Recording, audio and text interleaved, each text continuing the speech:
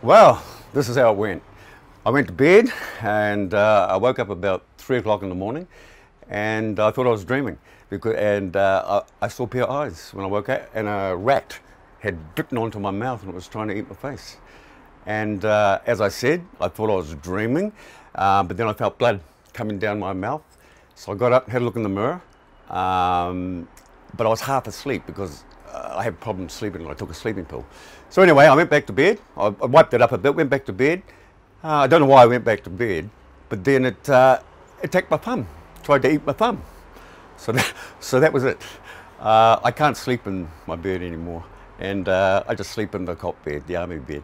And uh, I went to hospital, and they cleaned me up, and that's it until the next rats come.